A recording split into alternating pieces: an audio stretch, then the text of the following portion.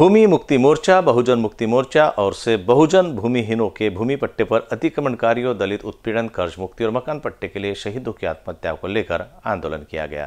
भाई प्रदीप अंबोरे, भूमि मुक्ति मोर्चा संस्थापक अध्यक्ष। केंद्र आणि राज्य शासनाकडे संघटनेच्या अनेक वर्षापासून ज्या प्रलंबित काही ज्या मागण्या त्या मागण्यामध्ये भूमिरांना जमिनीचे पट्टे देण्यात यावेत.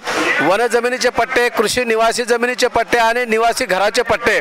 शा सरकारचे निर्णय असताना सरकारनं अजूनपर्यंत सुप्रीम कोर्टाच्या निर्णयाच्या आड जाऊन राज्यातील दोन लाख बावीस हजार एकशे त्रेपन्न लोकांची अतिक्रमण काढण्यासाठी मुंबई उच्च न्यायालयामध्ये एक प्रतिज्ञापत्र दाखल केलेलं आहे. आमच्या सरकारला सांगणं आहे की सर्वोच्च न्यायालयाच्या निर्णयाच्या निर्णया निर्णयाप्रमाणे राज्य सरकारनं कारवाई करावी.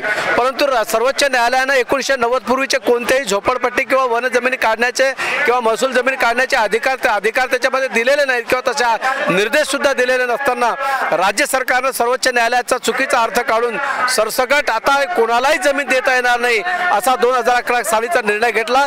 तो सरकारनं निर्णय रद्द करावा आणि सर्वोच्च न्यायालयाच्या निर्णयाप्रती राज्य सरकार सरकारने बाबासाहेब आंबेडकरांच्या जन्मशताब्दीच्या निमित्ताने घेतलेल्या निर्णयाविरुद्ध सर्वोच्च न्यायालयामध्ये राज्य सरकारनं दाद मागावी.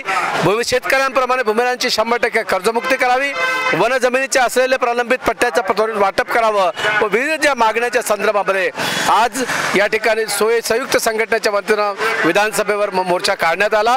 राज्य सरकारला या ठिकाणी तीस जानेवारी दोन हजार चोवीसपर्यंत जर संपूर्णपणे दखल घेतली नाही तर एकतीस जानेवारीपासून संयुक्त संघटनेच्या सर्व विविध राज्य विविध जिल्ह्यातील सर्वांना एकत्र करून राज्यव्यापी जेल भरो आंदोलन करण्याचा इशारा या ठिकाणी सरकारला दिला आहे.